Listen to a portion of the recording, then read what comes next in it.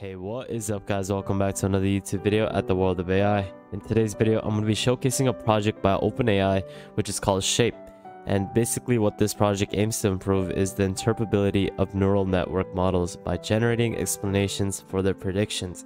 Now, this project is based on the Shapley value, a concept that is a cooperative game theory that quantifies the contributions of each feature of predictions in a model. Now, this is also something that they're trying to focus on, which is their text to actual video generative content.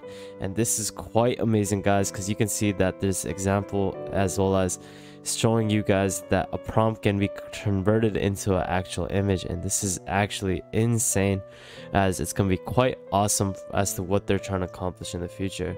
And throughout today's video we're going to be focusing on a little bit more about what this project aims to do as well as taking a deeper look as to what they're trying to accomplish we're not only going to look at a little bit in-depth version of what they're trying to do but also take a look at their examples take a look at what they're trying to do in the future and talk a little bit more about the limitations. Now with that thought guys if you guys haven't subscribed please do so. Turn on the notification bell like this video and please like uh, comment anything that you want to see in the future uploads. Now if you guys haven't seen any of my previous videos please do so guys as it would really mean the world to me guys.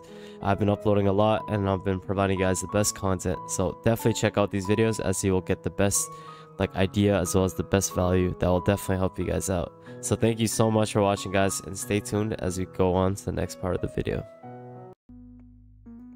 So Shape's algorithm first trains a neural network model on a given dataset and then it computes it to a shapely value for each feature to be based off the prediction of their model. So this is how the actual application functions and with Shapley values then are used to generate the explanations for individuals. So if you give it a prompt, you're going to be able to generate it into a highlighted figure. And one of the key benefits of this is that it, the approach is that it can generate explanations for a wide range of neural network architecture, including conventional neural networks as well as recurrent natural neural networks. And basically, the algorithm can be applied to both classifications and regression tasks. Now, this project is going to provide the implementation of the algorithm in Python along with examples of how you can use it in various different datasets as well as neural network models. Now, this code is actually available on GitHub so you can actually utilize it and use it for research purposes. So, I highly recommend that you check it out if you're interested in doing and generating 3D objects that are conditioned on text. So, I'll leave the links down in the description below, as well as the research paper, so you get a better understanding of what you can do with this. Now, let's take a look at this figure in figure 2, where there is actually a description as to what they're trying to do with the actual model.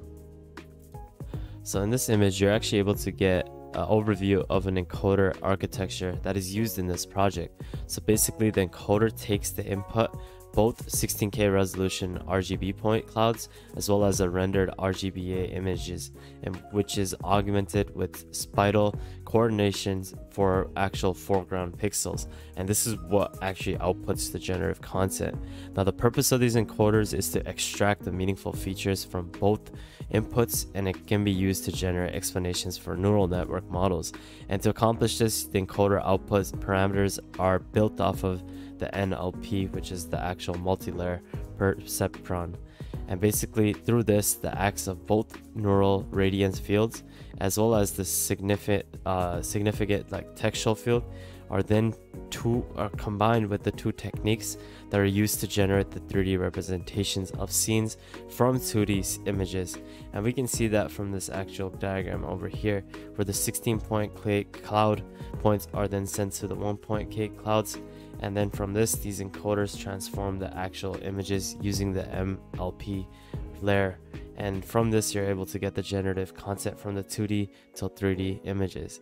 And by using both the MLP as well as the NERF and basically from these encoders you're able to extract the features from both the point clouds and the rendered images to use them to generate the explanations of the prompt that is given to the actual application to render the actual image and use them to generate explanations for the neural network models. And that's basically how this actual figure is explaining the overview of this application. Now, in addition to generating explanations for neural network models, the actual project also has the ability to generate image based off of a given text prompt. And this is something that they marketed as their project's main hit. And basically, these images are generated using a variant of Shapley's value called Shapley Flow. And this is something that I talked about at the start, which basically assigns the importance of scores to the pixels in an image based off the contribution of the final output, which you can see over here. You give it a prompt, say example, for example, a cheeseburger, you're able to get a pixels generated of a cheeseburger in a 3D image. Now these images are generated with shape E as well as the text conditional, basically meaning that they're generated based off the given prompt that you give as with the text and for example, you can do a lot of different use cases as well as complex generations, which I'll show you later on in the video. And from like generating these images, it doesn't require a separate text to image model, which is quite useful guys, because if you guys can see in different models that I uh, basically talked about and where it's demonstrated a text to image uh, application, it's kind of like a model that you use to generate these actual like images like instead with shape E, the algorithm is able to directly generate images based off the given text prompt without an actual model. And that's one of the great things. And one thing that I wanted to uh, emphasize is that it's able to generate 13 second or it takes roughly 13 seconds to generate on a single NVIDIA V100 GPU. Now, this is actually insane because you're able to generate it quite efficiently and effectively. Obviously, you don't have the best quality at this current moment as it's a work in progress, but in the future, you're going to be able to get the best conceptual idea of their generations. In this figure, we're able to see that the paper shows examples of text prompts for which the text conditional point E as well as point shape E models exhibit qualitative different behaviors and this is through different prompts that have been given in comparing these two. Basically both models were trained on the same dataset with the same base model size but the outputs they generated in response to certain text prompts differ significantly which you can see over here. In an example we can say a diamond ring you can see like, like right here like how different the actual quality is. I'm not saying that this actual quality is great but it's a step forward, you know? Like it's not obviously going to give you the best generative answer as it's a work in progress technology, guys. But you can see that uh, you're getting a good like demonstration as well, a good like detailed idea of a generative content way better than point e samples. Now for each of these tech prompts shown in this image there's four different samples which we see over here. And the purpose of this figure is to demonstrate that shape e model is to able to like generate more diverse and visual like interesting like outputs from point e model and I mean compared to point E model and basically this is using the variant of Shapley value called Shapley flows. And this is what we talked about at the start as to how it utilizes and makes these types of actual prompts. Now I just wanted to show and demonstrate how different and how different like different these two models are as to how they're able to generate these actual textual prompts to actual images. And it's quite remarkable as to seeing this like at least not remarkable but it's way better to see improvements from shape or from point E to shape E on the topic of comparison, let's actually take a look at some of the comparisons to other models. Now in this research paper, we see that the contributors actually compare their models to several other existing models. And I highly recommend that you check this out because there's a lot of information that you can get a better idea of some of the actual data sets as well as a more optimized way of understanding the actual application. But we can see that the researchers and contributors of this project are able to compare it to a lot of different models.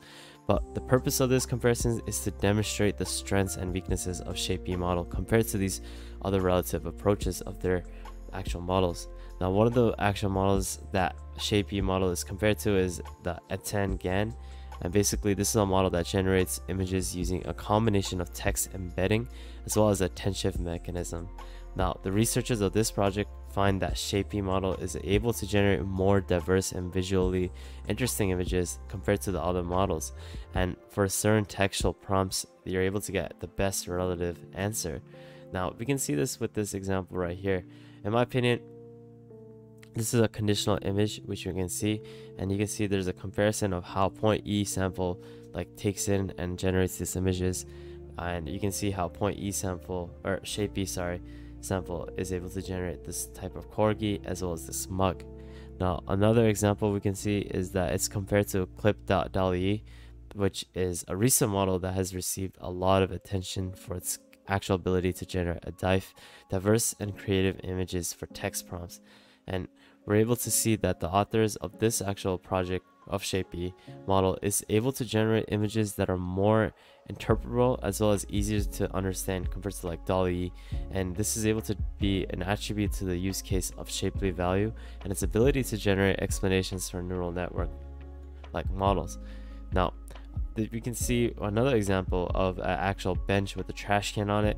We're able to see that there's a failure for point E to actually generate it whereas point uh, Shap-E, sorry, is able to generate some sort of value, but it's not actually at the best like generative value of the conditional image. But this is a work in progress guys and this is something that i'll talk about in terms of its limitations because th the actual project does have limitations and this is something that we're going to talk about in the next segment of the video Overall, the researchers of this actual project have actually stated their future plans and their limitations and this is something that we can see over here.